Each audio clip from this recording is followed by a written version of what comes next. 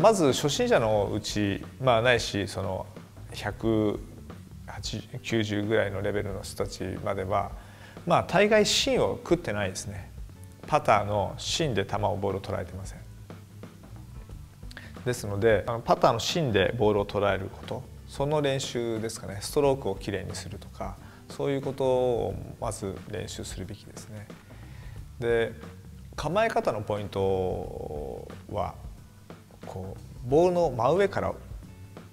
真上にこう頭がくるようにする、ね、左目の下にボールをセットするってよく言いますけど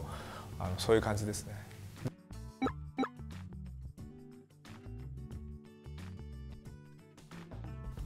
パターもアプローチ同様に振り幅で考えずヘッドスピード。この振る速度です。振り幅だけでなくヘッドスピードを考えてボールの距離感スピードを考えて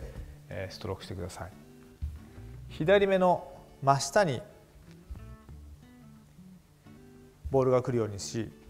正面からはまあセンターよりもやや左側に来るような感じで構えます。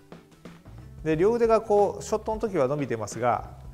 近づいてシャフトが立っている分少し両肘にゆとりがあるようにしましょう。で手首を使わずストロークします。近く立っていますのでクラベットっていうのは限りなく直線を描くようになります。フェースの向きも開いたり閉じたりしないでほぼストレートにフェースの向きが変わらず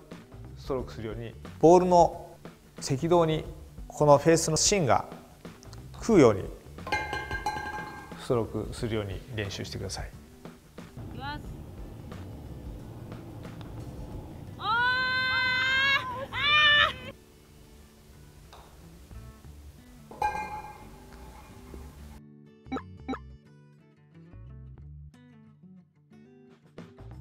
正しく構える正しい構えというのはボールののポジションですね、え、左目の下にしっかりボールをセットすること。それと芯で球を捉えること。あとはヘッドスピードでこうボールスピードをコントロールして距離感を作ること。この3つですかね。